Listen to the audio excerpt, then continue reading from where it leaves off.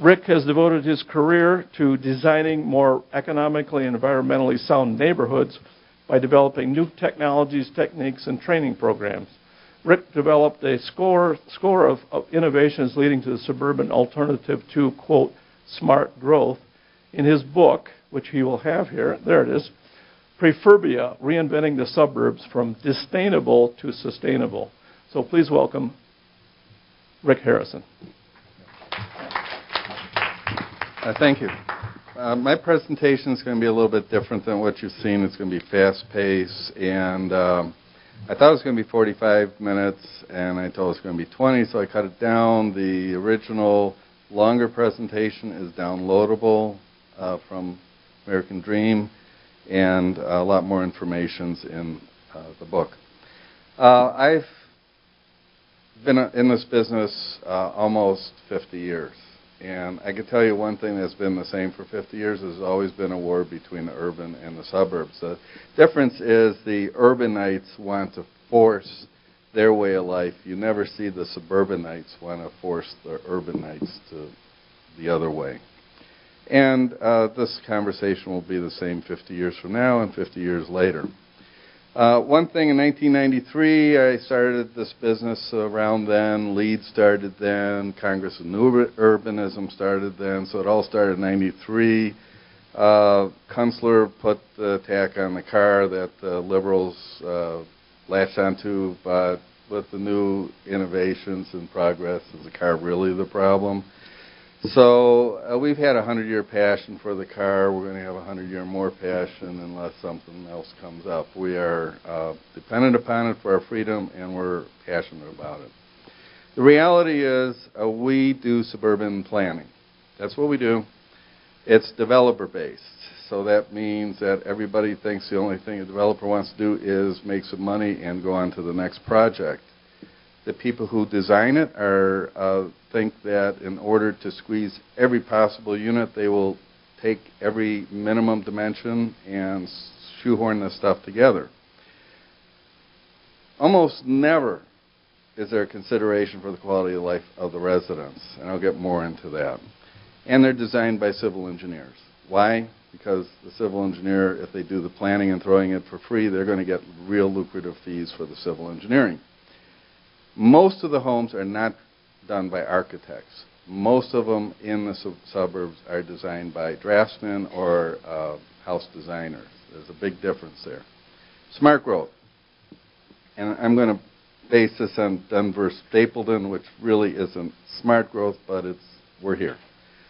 Uh, developer base. There's a question mark. Very few new urban or smart growth developments so the initial developer make a profit. They go bust. The next developer who buys the project at pennies on the dollar makes the money. It reduces the city minimums. So not only do they want to squeeze people to the minimums, all of them say the minimums aren't minimal enough. We need even more minimal. That's true with all of them. It is social engineering. It assumes the residents will change their way of life. And it is promoted by architects. This is a very important thing that I'm going to kind of close with, why, why that's important. So, what we did, and, and this is going to be different than any presentation I've done here in the past, is we replicated the mathematics by digitizing a section, a big enough section, this section of Denver Stapleton, to run some numbers and is it really environmentally friendly and economic as the proponents say? So we ended up with uh, this much information. So let's look at the environmental impact. The environmental impact is basically how much hard surface does the rain hit when it falls off. It's a flat site. It's an airport. There's not much topo there. So we can't talk about saving the trees and the hills because there wasn't any. 65.4% of the test area, and that's conservative, it's actually more than that, uh, but is man made stuff. That means uh, the rest of it is green area. Off of 217 estimated units at 6.2 units per acre in that test area, the car pavement per unit, that means the streets um, basically is 1,775 square foot. That includes streets, alleys, driveways per unit. This will come to play a little bit later. Si- Sidewalks of 424 square foot. And the green area, that's total green area, including the green in the islands in the street, is 2414 square foot per unit. Park, well, there's no park in that area, at least that area, so it's zero square foot. And I'm going to compare that to a project that the first phase is uh, just built. It just got sold out. Uh, the v- developer is um, Bison Development. Uh, it is their fastest selling project. We designed it using methods uh, in the book, Prefurbia. We're doing uh, three projects for them. And I'm not going to go too much into the methods because of time, but I'm going to go into differences in numbers. This is a suburban development in Colorado Springs. It's for middle income, uh, mostly military families that want a yard for the kids to play. Uh, the impervious surface went down from 65% in Stapleton to 40% uh, in uh, Forest Meadows. We only have 4.3 homes per acre, which is still fairly high density, and 316 units on that site. Interestingly, the area for pavement, even though it has these homes have two and three car garages and all that driveway that's in front of the home, uh, the square foot of pavement per home is within a few square foot of the square foot of pavement for cars per home as Stapleton. Um, it's incredibly connected. I'm going to get more into this in a minute. The area of walk per home is actually about a third less, but it's more walkable in almost every direction. And you'll understand that in a minute. Three times the green space per home, the actual green space. So when rain hits the hard surfaces, it actually has enough greenery that it helps absorb that rainfall so you don't have the runoff that extreme runoff. Now, what's interesting is the next project that they're building will be totally low impact. So not only will the rain be absorbed within the site, it will be treated very little runoff for middle income average neighborhoods and much more open space. Total park area per home 742 square foot. Compare that to zero square foot in um, Stapleton. So we, we took a look at a Stapleton house. Uh, just off the internet, picked this one up, $405,000, and so the suburban development with all these extra yard space and everything, that's got to be more expensive, right? So we took a home that is being built in the Trails of Forest Meadows, and it looks quite a bit like the house that's in Stapleton, except this one's bigger because it's got the two-car garage on the side and stuff like that. Both built in 2014. We got an extra half a bath, an extra bedroom. And so it's got to be more expensive, right? Because it's, well, it's a lot bigger. And that's the base home. That's the base home. If they finish the lower level, it goes over 5,000 square foot. And it's not much more money. So you got 33% more home for 24% less cost. And if you look at them, they're pretty similar in, in look. What's Prefurbia? We, we like to think of it as a smarter suburban alternative. The resident is what you're thought of in design. What's happened in this industry for the last 40 years since computer aided drafting, in particular AutoCAD and its add ons, has been an attitude we have the automation, we can knock the subdivision out fast. It used to take about a month to hand calculate a 100 lot development. I can hand calculate, I could go into AutoCAD and cal- with a software and calculate it. They, they'll boast it in like a minute. So, what we have done is uh, develop this company. We're an offshoot of a software company. We're a design firm that was, it was developed so that we do the job better, not faster. Use the technology to discover new ways to develop land. And put the resident first. You put the resident first, and then you put every, everybody else benefits. Um, we've been able to do that by exceeding, not asking for less minimums. We exceed the minimums in almost every case. Much less environmental impact, safer, healthier, less uh, infrastructure is the big thing. I live in Minneapolis. I live in a gridded neighborhood. If I want to go to the lake, the shortest distance is right on my street and go to the lake, right? If I want to go to one of the two restaurants, the shortest distance is actually quite right, you know, to the restaurant. I can't go that route because I have to walk the grid. It's either a half a mile more or two thirds of a mile more for that trip and the walk because of the grid. The grid is only efficient if the destination is on the street that you are also on. Once you start having to do the zigzag pattern, the grid gets less efficient. So part of the Prefurbia uh, planning theory is when you have a raw piece of land, which new development's raw piece, draw the trails first. Design where the destinations are, go straight to them, and design around it. That's never been done in planning before, that attitude. That guarantees walkability. Examples. Over here in Fountain, Colorado, a circle. Main circle, all the walks lead to it. You want to go for a run, you'll end up right back to where you were. That type of thing. This is uh, two hours from here. Cabela's world headquarters is in Sidney, Nebraska. Truly awful place to live. They can't get good people in because there's no place, so they're building their own town. This started as a new urban development. Phase one is right there. It's in the, is going in the ground right now. Uh, 27% less pavement. Um, this is in Viera. I'll talk a little bit more about Viera. It's uh, probably the most advanced neighborhood in the United States when it gets built next year, and you'll discover why.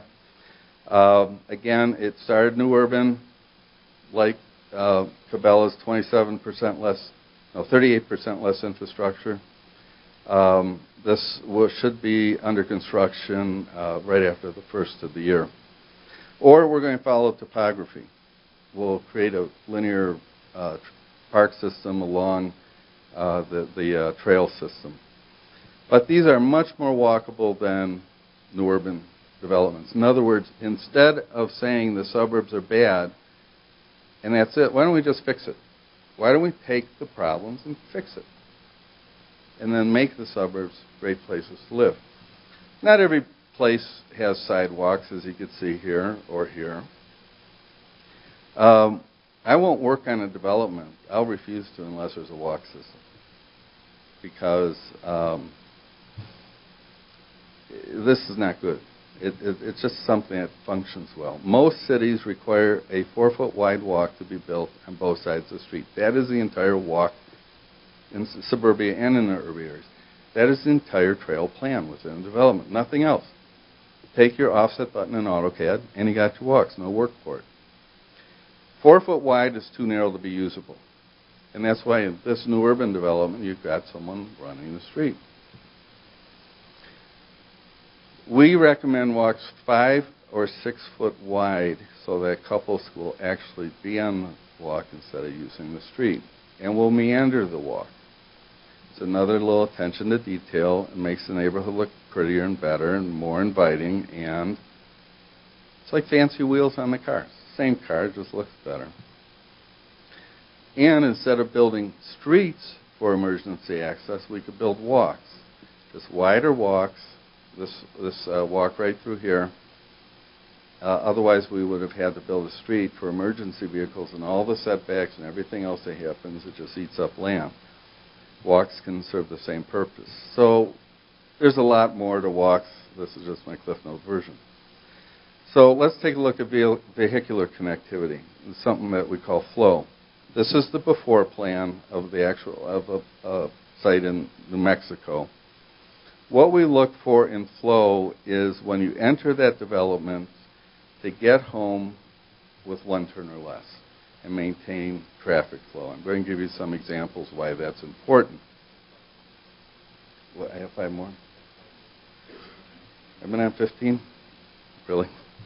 okay, the grid is going to have uh, uh, 50% of the people are going to have to stop. We know a body in motion tends to stay in motion. It takes Uh, so you have to get that car moving to that 25, 30 mile an hour speed, and then to a stop. That takes 400 feet.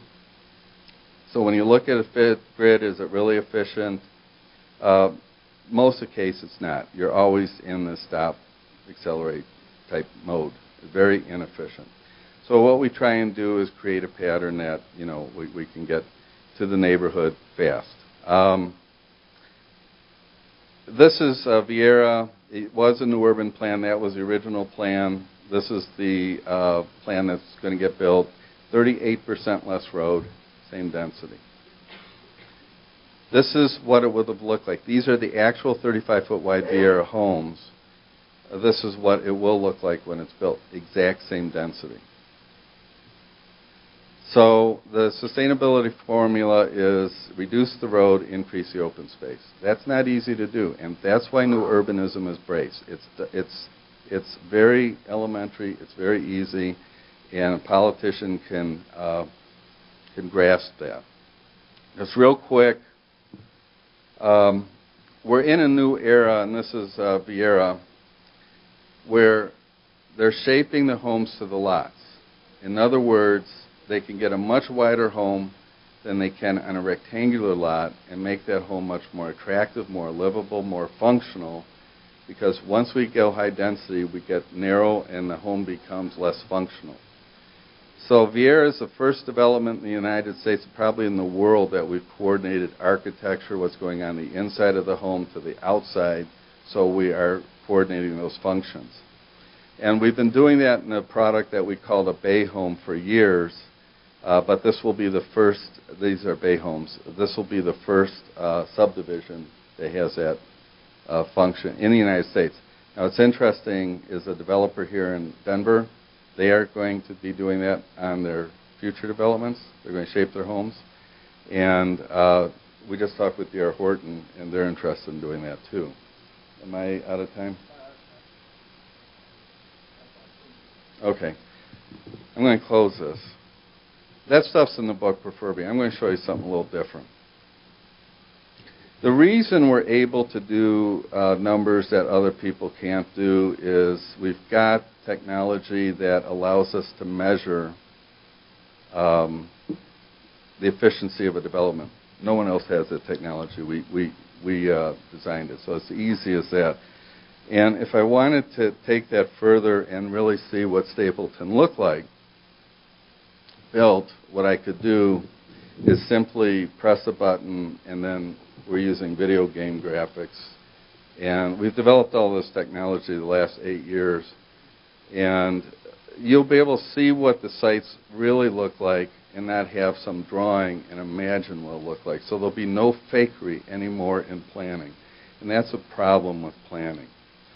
As far as architects, um, man, I'll tell you, uh, Stapleton is a real a boon to them because they'll get all those fees. They don't get it in the suburbs. It's not affordable.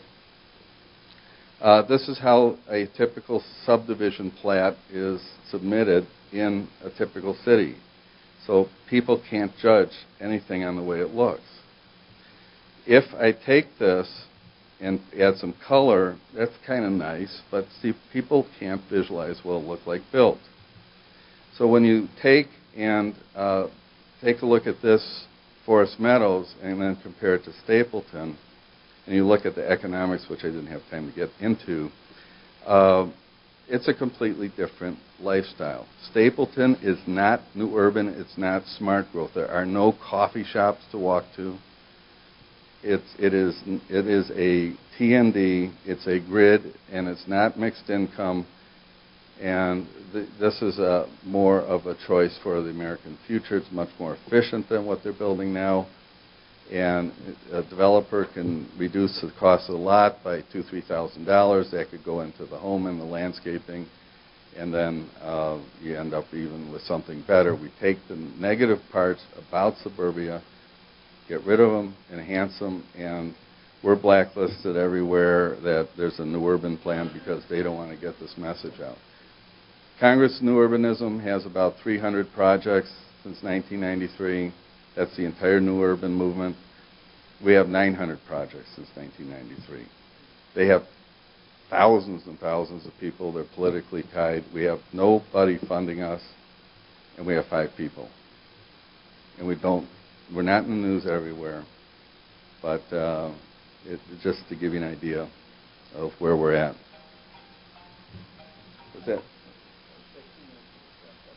okay? Just want to point out one thing at the end. Thank you. Um, I'll get this back up. There's something I wanted to end with to point out, and I'll go right to the end here. Um, thank you.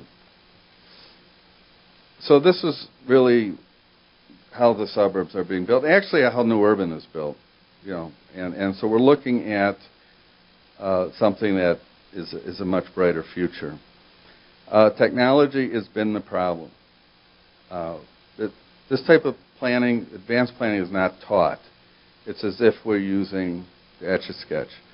Consultants do not communicate with each other. There's no collaboration, no communication between engineers, architects, planners. Universities do not teach collaboration. They teach existing CAD technologies and they teach in their social engineering. The software industry, and we're in it, and we hope to be in a big time when this comes out, is a multi billion dollar industry. They have done nothing to make any of our lives better. Um, just that's my, my thing about uh, uh, the software. We've been working for the de- past decade on training and technology that will bring the consulting industry together.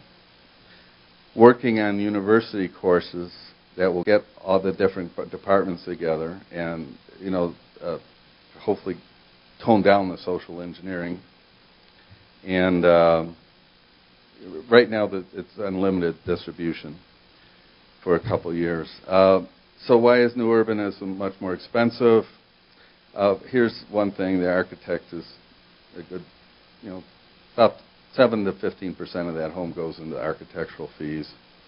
Uh, when you look at the uh, per acre uh, square footages of surfaces, all of that costs money. If I put that in numbers, and I don't know what it costs per acre here, let's say $50,000, uh, what you've got is not much difference between Forest Meadows and Stapleton. You, for $2,000 more, you get three times a lot. You know, you, you be your own judge on that. You know what's happening. I, I, I'm just, I just report the facts. So, anyhow, thanks.